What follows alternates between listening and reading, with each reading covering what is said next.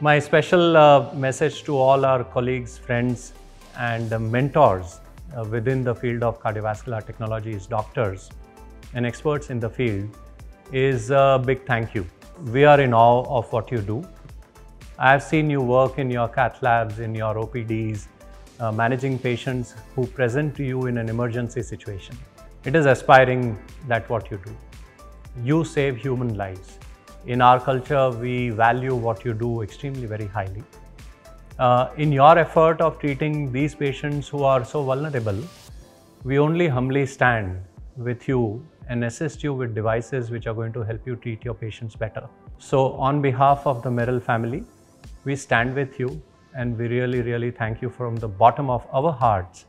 Please continue to do so. We are your strength, and together we will try to cure as best as possible the coronary artery disease, the structural heart disease, and the spectrum of heart disease that, that present to your clinical presentation every day. Thank you so much.